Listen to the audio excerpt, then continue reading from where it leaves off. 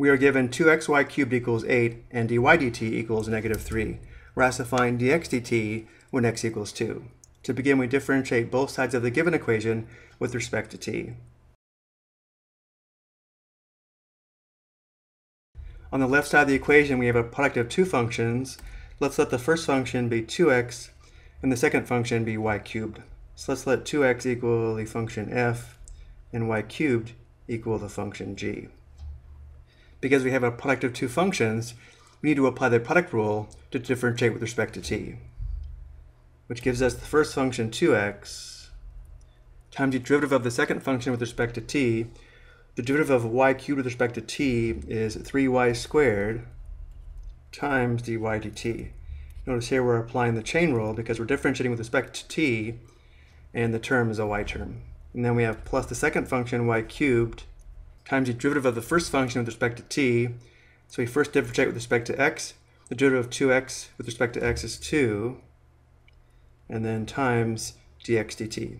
Again, we are applying the chain rule because we're differentiating with respect to t, and the term is an x term. And then we have equals on the right side. The derivative of 8 with respect to t is 0. And because we're trying to find dx dt, we now solve the equation for dx dt. Before we do this, so let's go ahead and simplify. First term we have 6xy squared dy dt.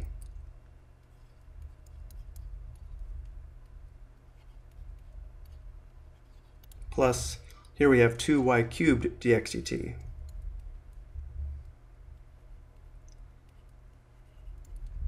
And now we isolate the dx dt term by subtracting 6xy squared dy dt on both sides which gives us 2y cubed dx dt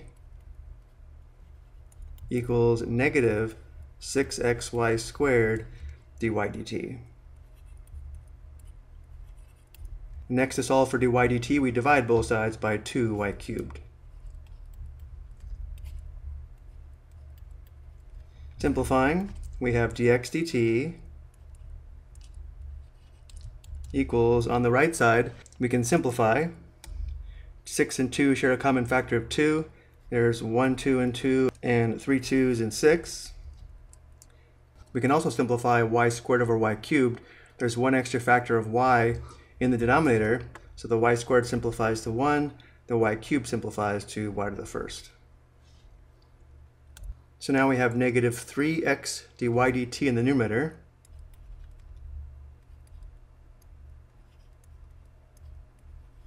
and the denominator simplifies to y. So now we can almost find dx dt. To find dx dt, notice we need x, dy dt, and y. We know dy dt is negative 3, and we know x equals 2, but we don't know y.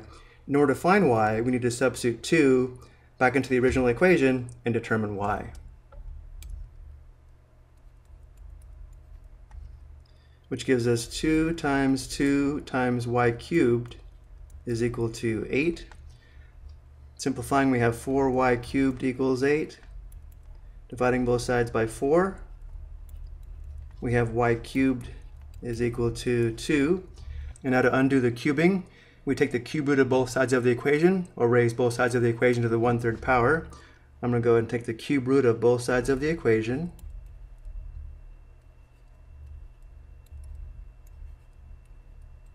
which gives us y is equal to the cube root of 2.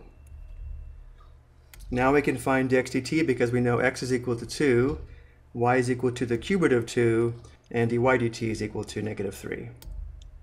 So we have dx dt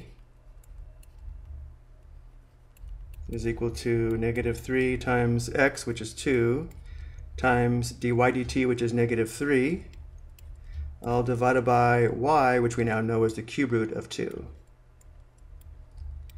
Simplifying, we have 18 divided by the cube root of 2, which is the exact value of dx dt. Let's also get our decimal approximation in four decimal places. So going to the calculator, we have 18 divided by math. Option 4 gives us the cube root. The radicand is 2, and enter. We have approximately 14.2866. I hope you found this helpful.